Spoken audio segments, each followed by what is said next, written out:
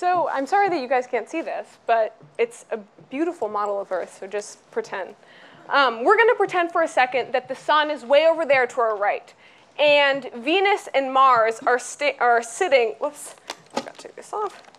Venus and Mars are standing right in between this beautiful, highly technical model of the Earth here.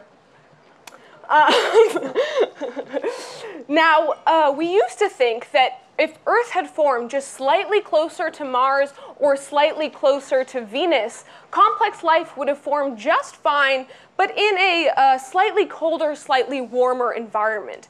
But I'm going to show you today that if Earth had formed just slightly closer to Mars, complex life may have never evolved, and no one would be sitting here today. So Earth, in its simplest form, can just be thought of of an ocean rock surface below some atmosphere.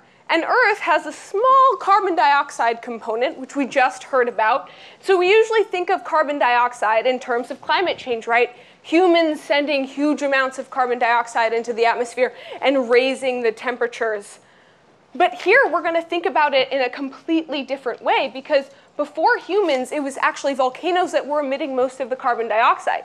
Volcanoes emit about 200 million tons of carbon dioxide per year. So after a million years, Earth should have a giant CO2 component, right? So why isn't that? Well, I told you about the sources for CO2, but I haven't quite told you about the sinks for CO2, which is kind of like teaching someone about the digestive system, but uh, only explaining what happens from like here on up. So when Earth emits all this CO2, about half of it gets depleted into the oceans. Okay?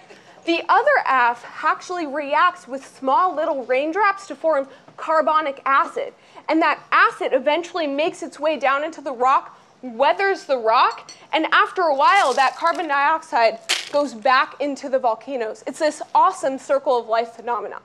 Now, if Earth was moved just slightly closer to Mars, the oceans would start to freeze and those raindrops would turn into snowflakes.